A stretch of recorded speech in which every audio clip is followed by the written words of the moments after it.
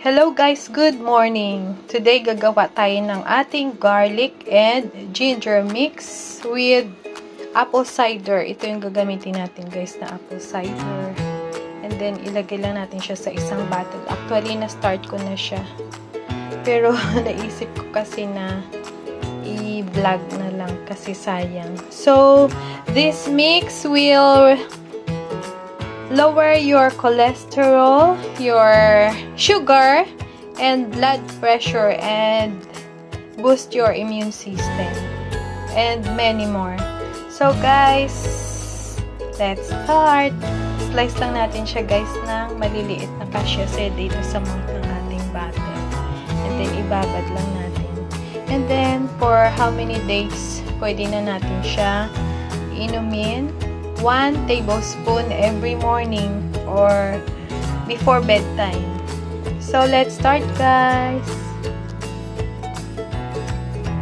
Now guys, tapos na natin ikat ang ating garlic and ang ating ginger. So, alam naman natin na ang ating ginger ay mataas siya sa ating phytochemicals and antioxidant na magbuboost ng ating immune system lalo na sa time ng Omicron. So, dadalhin ito ni Papa sa sheet.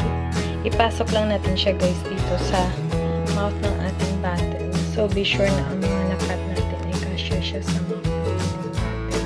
And then, lagyan natin siya ng apple cider later. Pagtapos na. So, mag-ferment siya guys for ilang days. Pwede na siya.